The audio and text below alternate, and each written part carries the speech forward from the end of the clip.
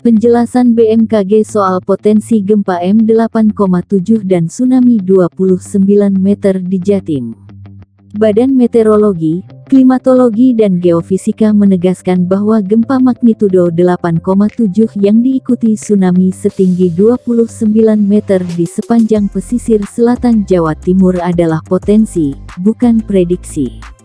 Hal itu ditegaskan BMKG dalam siaran pers yang diunggah website resminya, bmkg.go.id. Pernyataan BMKG itu UNTK meluruskan sejumlah media online terkait fenomena bencana alam dahsyat itu. Lembaga BMKG menyampaikan empat klarifikasi terkait kabar yang beredar tentang gempa skala besar dengan tsunami sangat tinggi itu. Pertama, BMKG menyatakan bahwa Indonesia sebagai wilayah aktif dan rawan gempa bumi memiliki potensi gempa yang dapat terjadi kapan saja dengan berbagai kekuatan magnitudo. Kedua, sampai saat ini belum ada teknologi yang dapat memprediksi waktu gempa bumi dengan tepat dan akurat, dan besaran kekuatannya.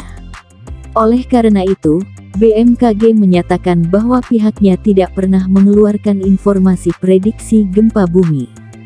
Ketiga, berdasarkan hasil kajian dan pemodelan para ahli yang disampaikan dalam diskusi bertajuk Kajian dan Mitigasi Gempa Bumi dan Tsunami di Jawa Timur, bahwa zona lempeng selata Jawa memiliki potensi gempa dengan magnitudo maksimum 8,7. Tetapi ini adalah potensi, bukan prediksi yang pasti, sehingga kapan terjadinya gempa dan tsunami tidak ada yang tahu, tulis BMKG. Oleh karena itu, BMKG mengajak masyarakat melakukan upaya mitigasi struktural dan kultural dengan membangun bangunan aman gempa dan tsunami.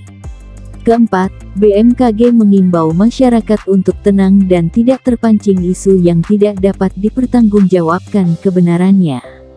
Apabila ingin mengetahui lebih jelas info tersebut, dapat menghubungi call center 196, kontak 0216543116 atau www.bmkg.go.id. Masyarakat juga bisa memonitor masalah itu melalui aplikasi mobile phone info BMKG. Berdasarkan petingan permodelan matematis, Pantai selatan Jatim berpotensi diguncang gempa M8,7 dan tsunami maksimal 29 meter. Namun kini BMKG menegaskan bahwa bencana alam itu adalah potensi, bukan prediksi. Kompas.com Jatim waspada, ini skenario terburuk gempa M8,7 picu tsunami. Badan Meteorologi, Klimatologi, dan Geofisika (BMKG) memberikan peringatan terbaru mengenai tren gempa bumi yang terjadi di Indonesia, termasuk di Provinsi Jawa Timur. Bahkan, BMKG memberikan peringatan bahwa gempa yang sangat mungkin terjadi di wilayah itu dapat mencapai magnitudo 8,7 SR. Kepala BMKG Dwi Korita Karnawati menyebut bahwa hal ini didasari pengamatan dua gempa bumi yang melanda Jatim tahun ini, jadi, sejak awal tahun kami melakukan, sebelum ada kejadian gempa di Jawa Timur yang sudah dua kali ini, tepatnya akhir tahun kami melakukan evaluasi di wilayah Indonesia ini mengalami peningkatan kejadian gempa di beberapa daerah kata Dwi Korita dalam webinar kajian dan mitigasi gempa bumi dan tsunami di Jawa Timur pekan lalu. Ia menyebut bahwa ada tren kenaikan kejadian gempa di tanah air dengan berbagai magnitudo. Sejak tahun 2008, rata-rata kejadian 4,000 sampai 5,000. Namun, memasuki 2017, jumlah kejadian menjadi lebih dari 7.000 kali.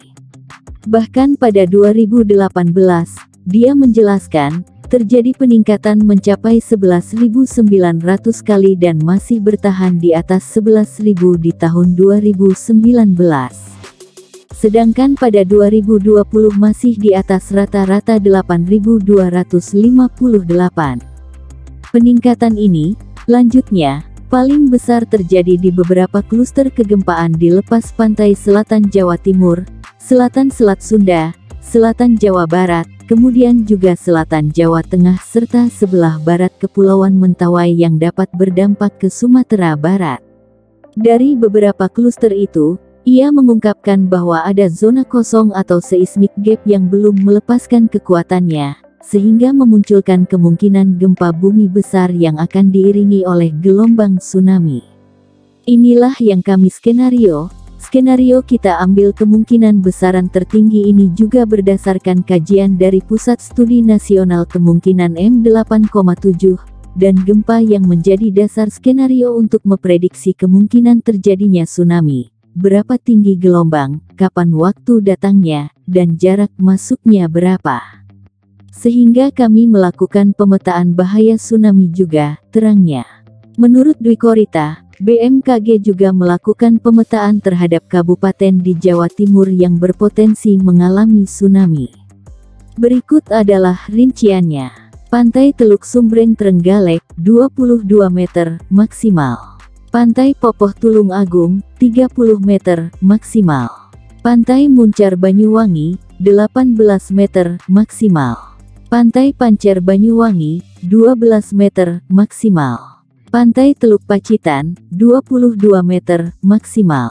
Pantai Pasirian Lumajang, 18 meter, maksimal. Pantai Tempur Sari Lumajang, 18 meter, maksimal. Lebih lanjut, ia menuturkan bahwa dalam mengantisipasi bencana itu, ada beberapa hal yang harus disiapkan oleh semua pihak. Pertama adalah kesiapan jalur evakuasi. Itu ternyata cukup banyak hambatan. Ada sungai harus menyeberang. Ada juga jalur evakuasi yang sebetulnya seperti Pacitan itu jalurnya sudah bagus tetapi harus menyeberangi sungai. Sudah siap juga aparatnya sudah siap, dan juga pemdanya sangat peduli, terangnya. Jadi poinnya agar jalur ini dapat ditingkatkan lebih memadai fasilitas sarana prasarana dan tadi waktu datangnya tsunami itu terlalu cepat bila ada beberapa wilayah yang datangnya tsunami terlalu cepat dibandingkan dengan jarak tempat evakuasi sementara. Sehingga kalau berlari itu bisa terkejar. Kedua yaitu kemampuan sumber daya manusia SDM. Ia menyebut perlu ada latihan sesering mungkin dalam memitigasi dan evakuasi bencana. Sementara dari sisi prasarana perlu ada peningkatan rambu hingga rencana kontingensi perlu disempurnakan dengan SOP yang lebih jelas berdasarkan skenario terburuk peta bahaya tsunami. Selain SOP, kekuatan struktur bangunan juga perlu ditata lebih lanjut. Juga ada kondisi tanah yang memang lunak. Nah ini potensi untuk mengalami amplifikasi atau guncangan bahkan bisa mengalami likuefaksi. Artinya standar bangunan tahan gempa perlu diterapkan kemudian juga audit bangunan-bangunan strategi seperti sekolah, mal, kantor-kantor untuk memastikan tahan terhadap guncangan hingga mencapai M8,7, tulisnya. Tata ruang ini juga perlu memperhatikan zona rawan gempa bumi dan tsunami dengan terburuk dan juga pencegahan-pencegahan kerusakan lahan. Sindonesia.com